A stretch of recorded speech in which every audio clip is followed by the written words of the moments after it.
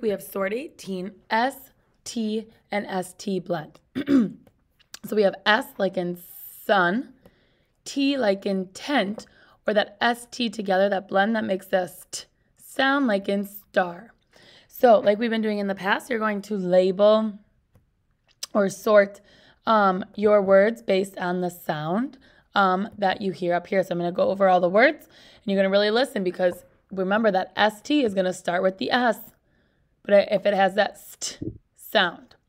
So we have stick, stop,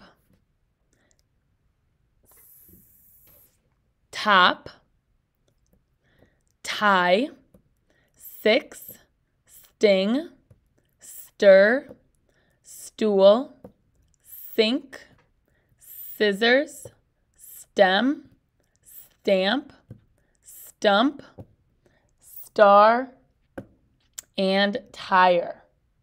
Okay, so again, stick, stop, top, tie, six, sting, stir, stool, sink, scissors, stem, stamp, stump, star, and tire.